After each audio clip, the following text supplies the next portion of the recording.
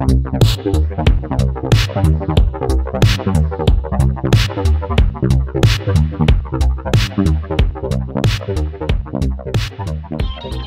it's Ozymandias12 and I'm back after a bit of a hiatus. Um, I am compelled to give you this video based on the top 5 most overrated directors. Uh, some are living, some aren't these days, but um, after watching a certain film by one of these directors I'm about to mention, I just, I just couldn't handle it anymore. I can't take it when people praise these people who are just simply mediocre. Um, I think we're celebrating a bit too much mediocrity in our films these days, which has resulted in a lot of meh films. A lot of, they're good, but they're not great. Um, I want to see more great films, so I've decided to compile a list of what I think is the top five most overrated directors, possibly ever. Now let's start off with number five. Now a lot of people won't agree with me, but Paul Thomas Anderson sits at number five. Um, yes, very overrated director. He has done one great film, There Will Be Blood. I will not blemish that one. That is magnificent. It's a, it's a masterpiece. But everything else that he's done is pretty disappointing, pretty boring, and ultimately I wouldn't say great films, uh, not even good films, some of them. Um, the Master is something that really disappointed me. I was very excited for that film. It looked great. It has, and it does have great performances, um, little moments that are all right, but together it just doesn't mesh well. It's, it's boring. It's a film that is, you don't know where it's going. He doesn't know where it's going. It doesn't really end up anywhere, and you just kind of sit there going, no, I don't, I don't really like this. Uh, same thing with Boogie Nights. It's got a lot of good ideas. It does have really great moments and some really good scenes, but as a film, it doesn't mesh well. He goes into certain directions and he comes back and it's maybe it has a good look. It's more like a documentary that can kind of take a look at that time period or that kind of subject, but as a film, which really kind of gets me, um, I, I, don't see it as being great. Uh, it's quite mediocre in my uh, opinion. Punch-Drunk Love is a lot better than most of his films. Um, I wouldn't quite put it as magnificent, but yeah, that's a recurring theme with this guy, is that he has a lot of films that kind of look like they're good. Um, if you think you're a cinephile, you, will get points by saying you love Paul Thomas Anderson. Me personally, I'm like to shoot straight. I don't think he's that great. Magnolia was another one that has all the um, yearnings of a talented genius filmmaker, but really isn't. You know, you got Tom Cruise doing a great performance. He gets good performances, um, but in terms of his films, they're not quite up to snuff. And I think everyone's kind of getting to an exhaustion level with Inherent Vice, where no one really praised. Everyone's kind of going like, yeah, yeah, okay. He does those kinds of films. He's not testing us as an audience. Number four, possibly the worst thing to happen to the 21st century in terms of comedy, especially with films, Judd Apatow. This guy is, he's not good. He's got no talent whatsoever. I don't even know how he got to where he is. He did 40 Year Old Virgin, which isn't bad, but I would give more credit to Steve Carell than the actual film. Then he did Knocked Up, which everyone loved for some reason. I don't know why they loved it. I don't know why Seth Rogen is a big um, actor he really isn't that talented. Uh, I think there's a bit of camaraderie and you think like you're having a good time with him, but really he is not. Anyway, Judd Apatow. This is 40. Um, funny people. I'm just reading Trainwreck.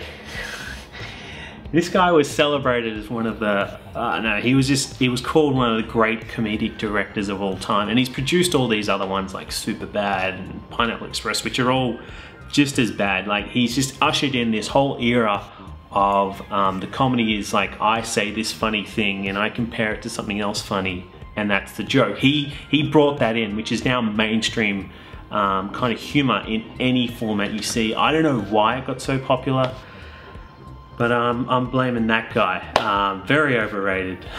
Almost just a curse to the film industry and especially comedies. Like I love um, Dumb and Dumber, you know, uh, Anchorman. I even know he had something to do with Anchorman. I don't think he had a whole lot. I like Jim Carrey comedies back in the day, which really stand the test of the time. None of what he's done has had any influence, and anything that's kind of come out of what he's done is terrible. Anyway, Judd Apatow, number four.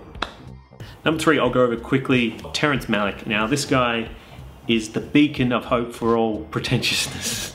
Um, I, don't know why I watched these films. I don't know why I took the time to get through them. Um, Tree of Life, Knight of Cups, uh, something else. Uh, did new the New World, which is one with Colin Farrell, which uh, it's just boring. They just they look beautiful. The guy can.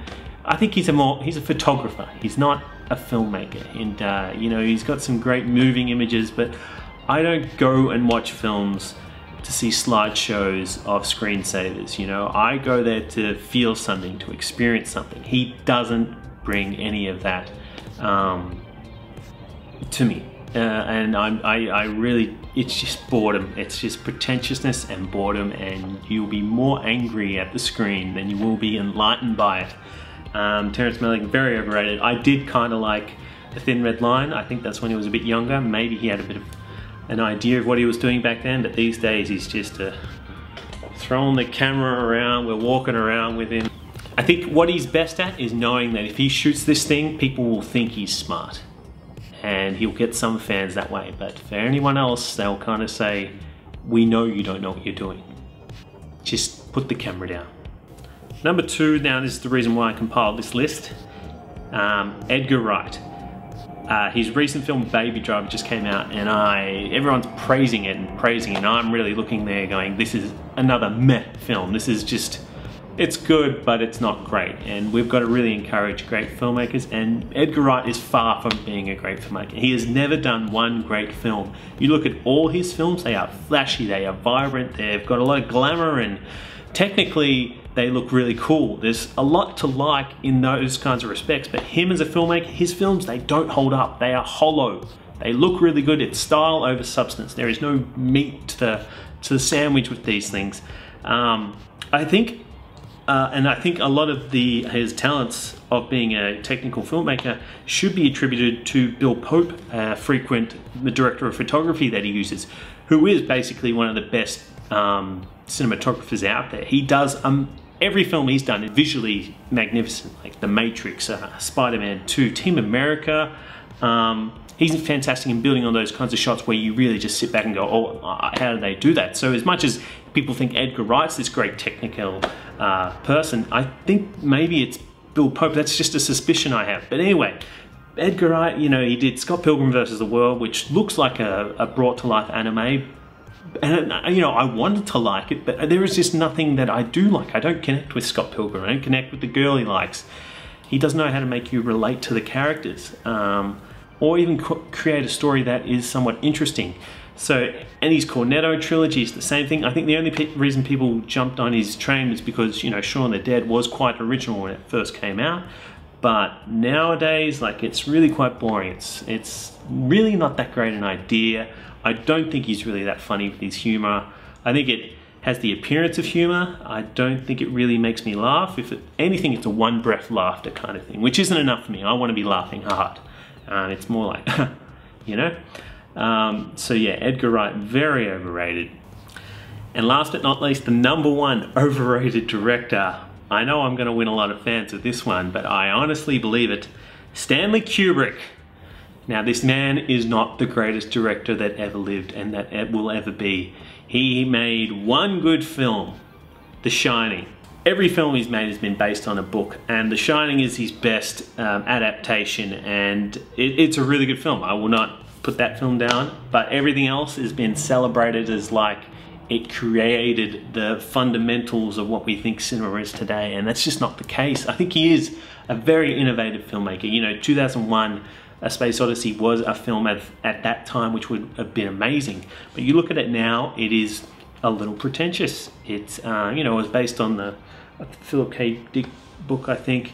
Um, and, you know, like the idea of using kind of uh, classical music in space works very well. But in terms of an actual film that I want to revisit every now and then, not really. I, I, do think that it is a bit empty. You know, it is another one of almost talent Terrence Malick kind of visuals which look great, but doesn't really get to you as a, a person, as an audience.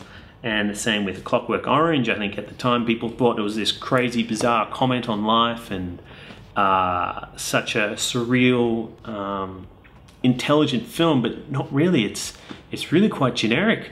And compared to the other films that came out that same year, um, I don't think it holds up. I think he's just one of those guys that people just talk about um, to sound smart. Because, you know, if you're in the film world, you say Stanley Kubrick, oh, okay, oh, he knows what he's talking about, he knows Stanley Kubrick. And that's all I can do is like look at his body of work and say, does that relate to me now? Does that relate to other people? Does it transcend time? No, I don't think it does. People forget about a lot of this. His name stands up ahead of a lot of other people because of maybe his technical brilliance back in the day. But in terms of his films, I don't think they hold up, except for The Shining. It's the only one I will watch time and time again. The other ones, quite frankly, I find myself getting a little bored. So there it is, my top five um, most overrated directors. Um, I know a lot of people are probably going to disagree with me, but I, legitimately think that these people um, should not be praised as much as they have been. Uh, and that is purely in the name of getting better films out there and really paying attention to what is good and uh, not to, you know, some of these superficial kind of films. Anyway, my name's Ozymandias12. Um, yeah, comment if you can, if you want. And uh, I got a Twitter, but I can't figure it out. Ozymandias12.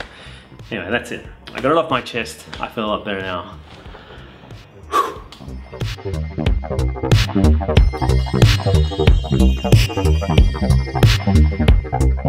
Whew.